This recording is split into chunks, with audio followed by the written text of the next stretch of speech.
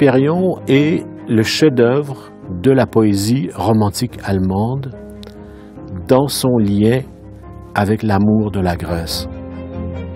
Hölderlin met en scène des personnages qui connaissent très très bien la pensée grecque, la culture grecque, qui l'aiment et qui souffrent parce que ils savent que la Grèce est opprimée. La Grèce subit le joug ottoman depuis 1453.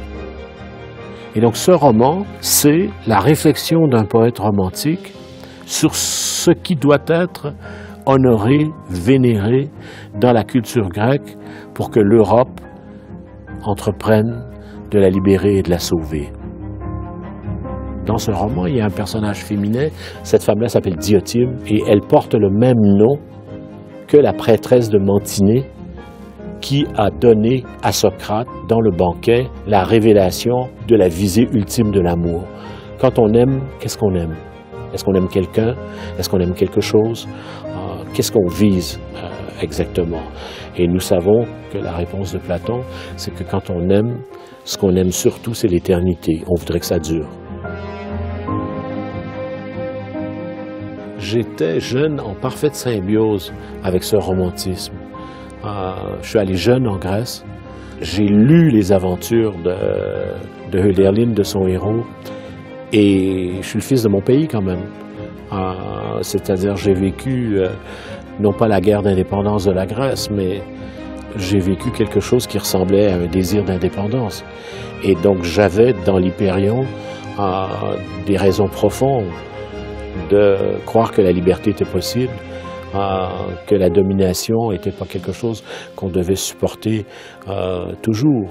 Alors, euh, l'Hyperion avait beaucoup de résonance pour moi. Il y avait le texte platonicien, il y avait la situation euh, politique du Québec, il y avait énormément de choses.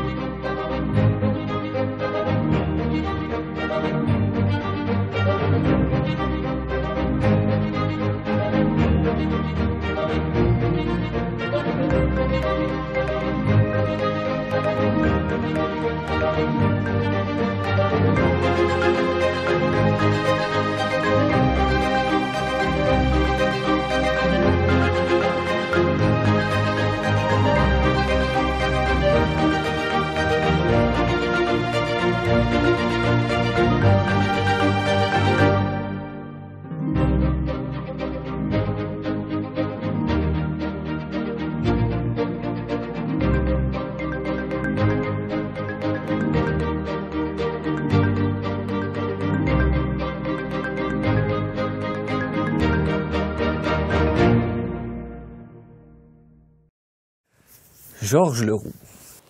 Vous êtes professeur retraité du département de philosophie de l'UCAM, une institution dans laquelle vous avez été professeur depuis la fondation en 1969.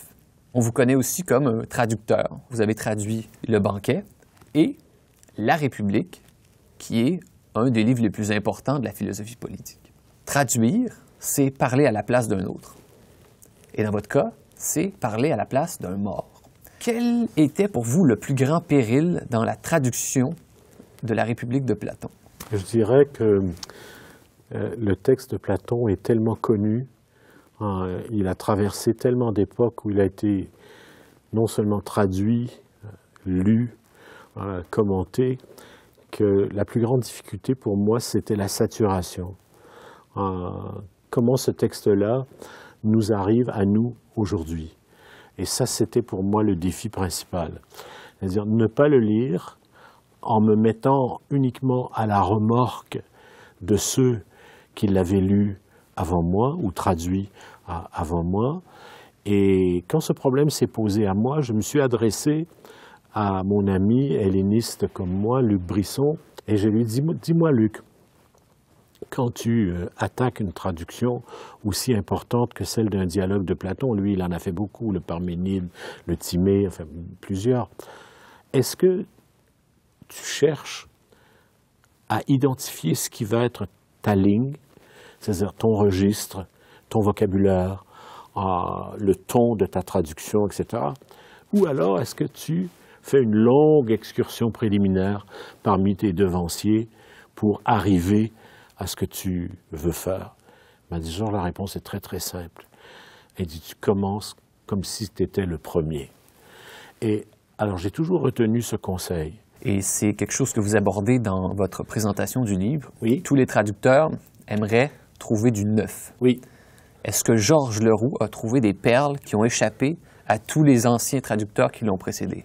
J'aime beaucoup la question parce que euh, j'ai enseigné ce texte pendant de très nombreuses années. Qu'est-ce qu'il y a dans la République qu'on voit plus aujourd'hui qu'on voyait moins avant? Ah, parce qu'il y a de plus en plus de débats sur la signification de la République.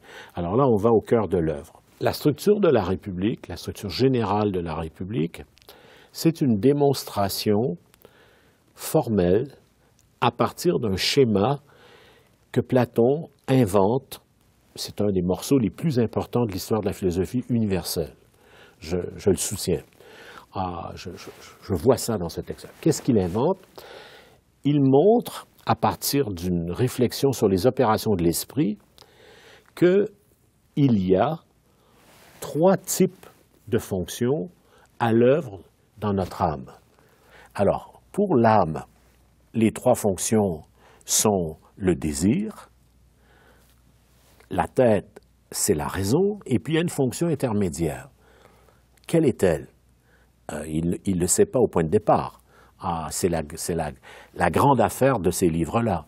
Il regarde la cité et il dit, il y a le peuple, la masse, la foule, les gens, quoi, ah, qui correspond au désir.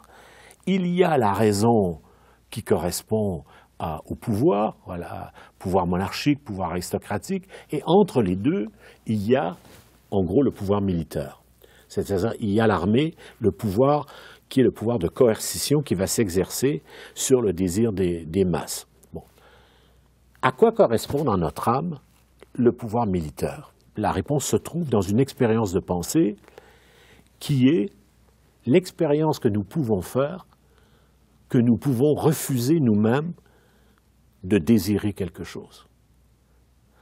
Alors, vous allez dire c'est une, c'est une phénoménologie un peu primitive ah, que d'observer que le désir n'est pas le fin mot de l'expérience humaine, que la raison non plus n'est pas le fin mot de l'expérience humaine, et qu'entre les deux, il y a un pouvoir, une puissance qui peut se tourner vers le désir et le soutenir, ou vers la raison pour contredire le désir.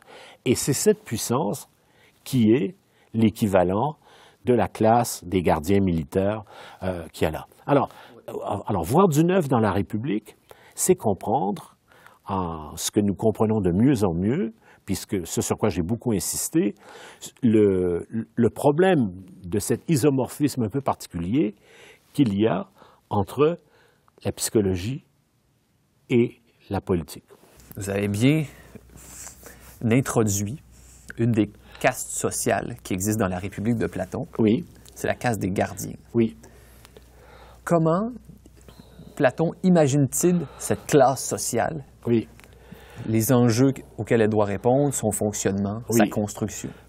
Il- Platon pense, après avoir isolé de manière transcendantale, c'est-à-dire par un- une réflexion, le modèle tripartite de la République, il pense qu'aucune cité ne peut être juste si elle n'assure pas, dans ses institutions, le triomphe de la raison.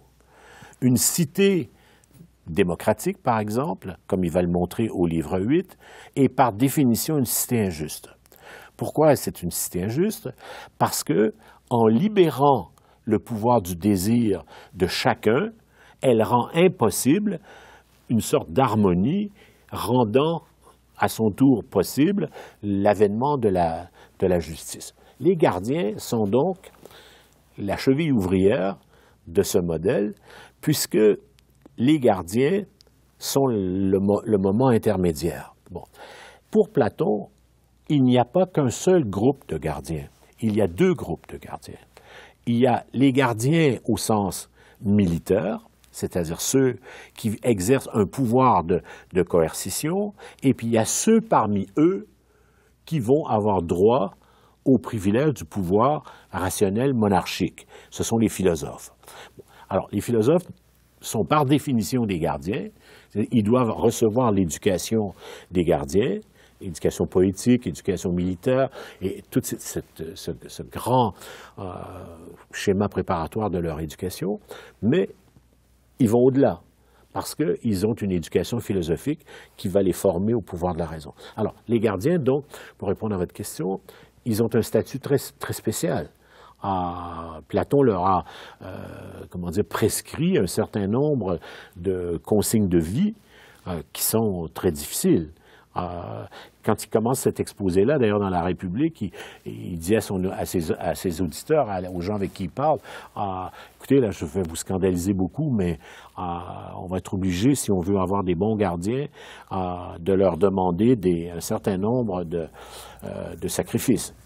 Mais on dirait que la sélection des gardiens fonctionne sur l'abolition de la famille, oui. Il y a une forme d'eugénisme, de sélection des meilleurs? Oui. La sélection des gardiens se fait à partir d'un ensemble de talents naturels auxquels les gardiens doivent satisfaire. Ce sont des critères.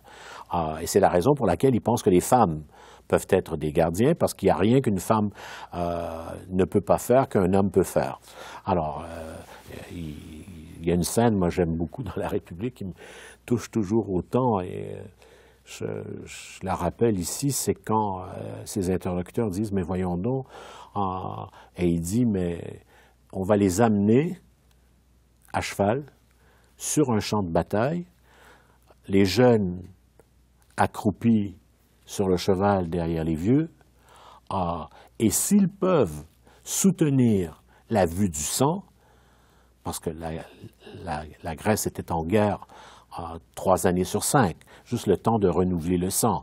Les historiens l'ont bien montré aujourd'hui. Euh, alors, ils ont le tempérament pour la deuxième vertu, ils ont le, courage, ils ont la, solidité, la fermeté nécessaire pour être des gardiens. Alors ça, c'est les talents naturels, courage, etc. Bon, euh, mais les règles de vie qui leur sont imposées, ça, c'est autre chose. Euh, c'est après les avoir choisis qu'on va leur dire, écoutez, ah, pour que vous fassiez bien ce que vous avez à faire, la cité va vous entretenir. Vous n'aurez absolument pas besoin de travailler pour de l'argent. votre, souci matériel, ah, c'est la cité qui l'assure. Pourquoi? Pour qu'aucun d'entre vous ne tombe dans les défauts de la corruption, de la convoitise, euh, du désir économique, et ainsi de suite, vous, aurez tout ce que vous voudrez, et en particulier, deux récompenses très importantes. Vous aurez des triomphes, c'est-à-dire que la postérité va reconnaître votre rapport à la cité juste, et puis aussi la vie sexuelle. Ça, c'est très important, c'est un aspect qu'on oublie toujours dans la, la, vie des gardiens. Mais en contrepartie, d'accord, vous devrez accepter la communauté des femmes et la communauté des enfants. C'est-à-dire que vous ne posséderez pas une famille. Vous avez bien dit, dans la Grèce antique, les cités vivaient dans un contexte de guerre permanente. Permanente. Et Platon cherche à concevoir une idée générale de la justice. Oui. Est-ce que Platon a réussi à découvrir quelque chose d'universel au sujet de la justice ou son œuvre est totalement ancrée dans le contexte de son époque? La République de Platon reflète euh, une Grèce où la violence des guerres était insoutenable. Quand on cite la maxime euh, reviens avec ton bouclier ou dessus, c'est-à-dire coucher dessus parce que tu es mort, euh, tout est dit. le, travail de guerre euh, était considérable dans toutes les cités qui étaient en guerre les unes avec les autres tout le temps, et des périodes de paix, la Grèce n'en a pas connu beaucoup. Pourquoi? Parce que la Grèce n'était pas unifiée. Ah, ça n'existait pas, la Grèce. Ah, on oublie toujours ça. On ne va pas faire ici un cours d'histoire grecque, mais l'histoire grecque, c'est ça. Et les historiens aujourd'hui ont développé des méthodes qui n'existaient pas il y a à peine 30 ans pour calculer le coût humain. Alors, quand on dit trois années sur cinq, ah, ce qui a été calculé par les meilleurs historiens militaires de la Grèce euh, aujourd'hui, on le calcule en fonction euh, du sang. C'est-à-dire qu'ils ne pouvaient pas se permettre de tuer toute leur jeunesse tout le temps comme ce qui a été fait durant la guerre de 14, en gros. Euh, si la guerre de 14 avait continué, l'Europe aurait été littéralement détruite. Ah, bon, alors c'est pareil pour les Grecs. Platon le dit assez clairement. Euh, les, guerres sont meurtrières, ah, il faut arriver à les dépasser, il faut arriver à trouver des mécanismes par lesquels les cités vont précisément trouver la justice. Et la première définition de la justice, qui est une définition économique, Hein, parce que qu'est-ce que c'est la justice? C'est d'abord et avant tout que chacun fasse ce qu'il doit faire et qu'économiquement il soit à sa place, qu'il ne cherche pas à accomplir une tâche pour laquelle il n'a pas été préparé et pour laquelle il n'a pas d'identité essentielle. Ça, pour Platon, c'est la condition primitive de, la fin de la violence.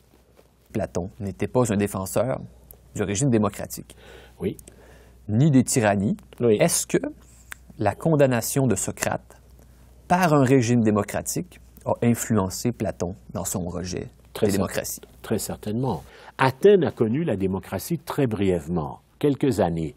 les, historiens se disputent sur le nombre d'années, disons en gros entre 40 et 50 ans. Bon, alors, ce qu'on appelle le siècle de Périclès, c'est plutôt un demi-siècle.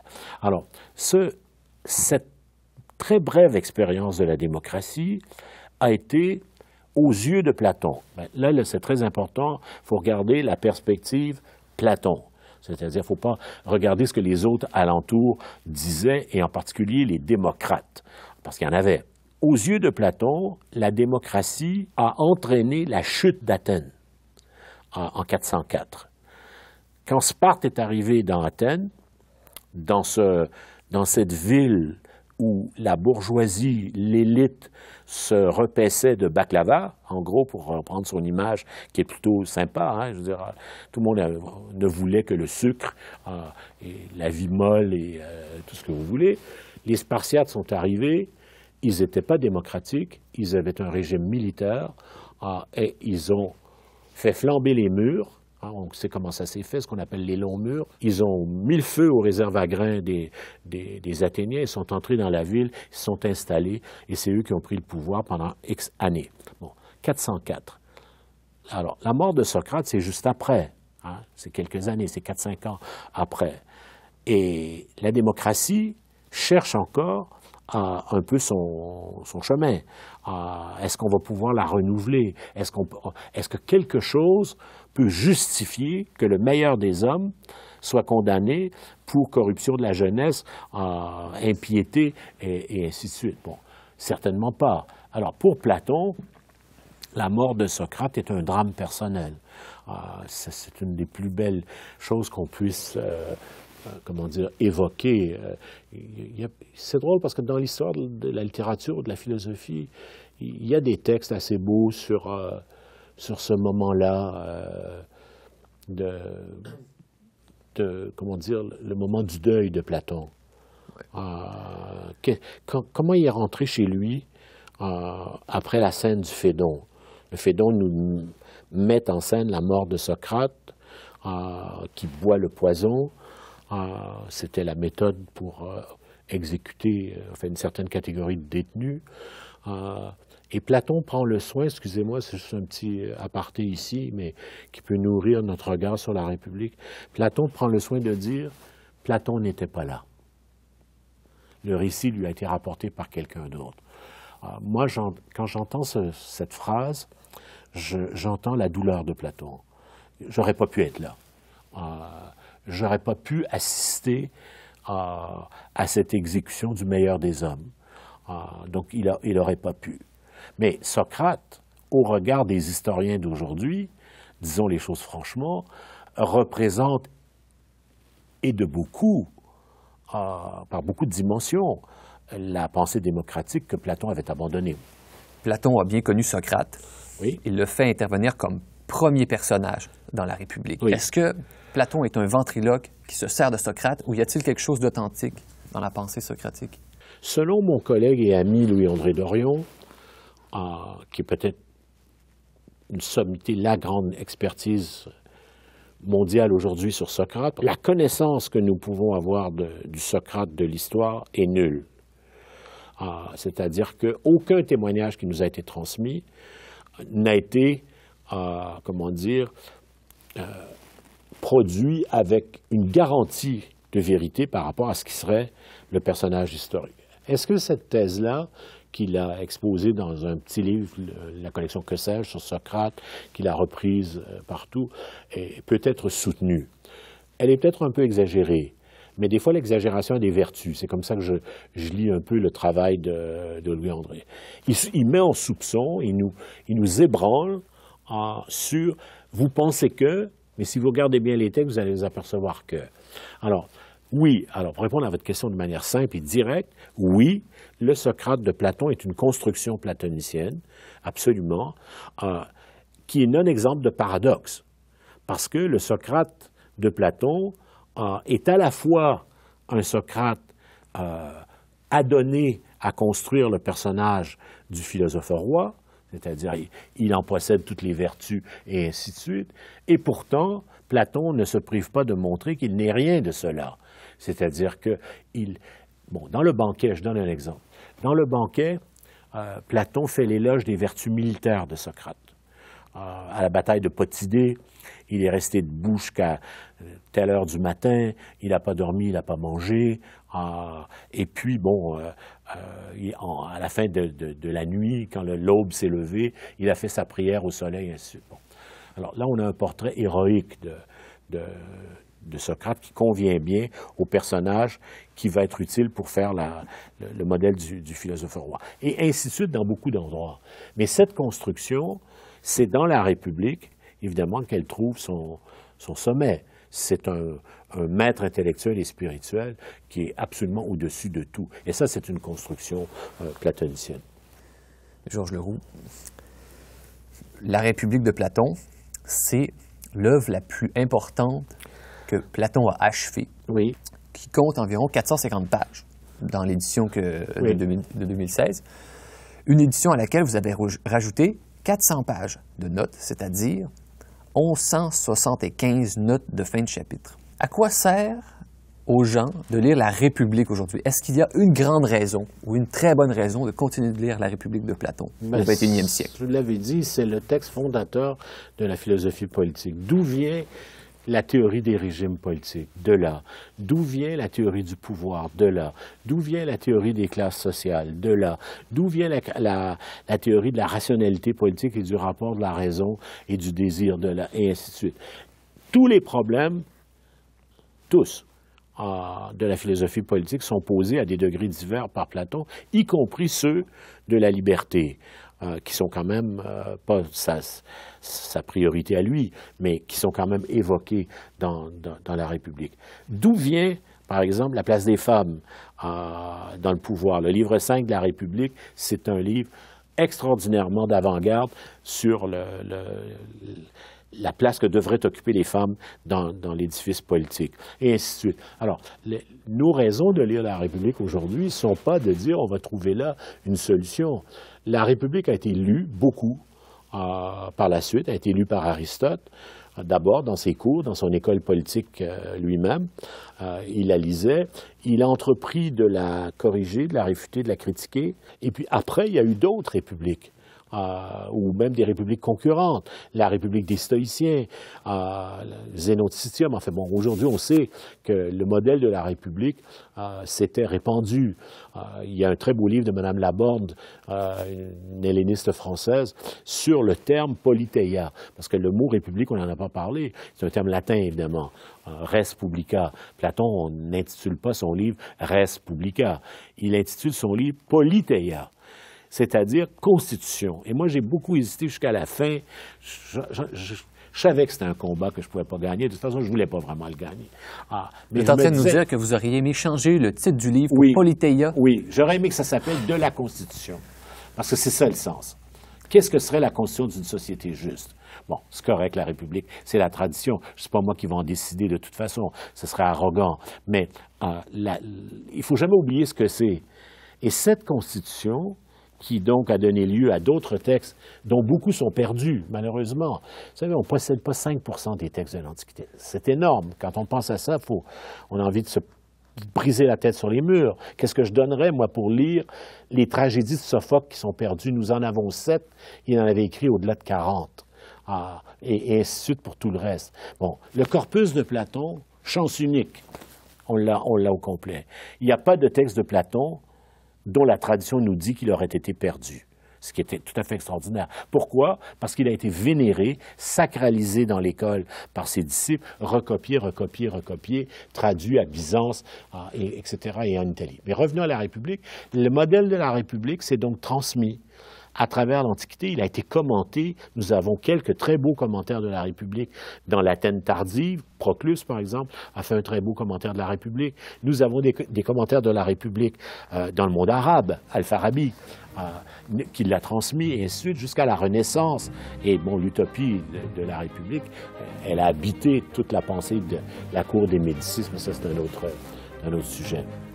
Georges Leroux, vous n'avez pas bu une goutte d'eau, et des gens sans doute qui écoutent, vont se dire qu'est-ce que nous avons manqué de ne pas avoir été les étudiants de Georges Leroux. Quand même. Au nom de tous ces gens qui vont vous lire et qui auraient aimé être dans vos cours, je vous dis merci pour cet entretien. merci beaucoup.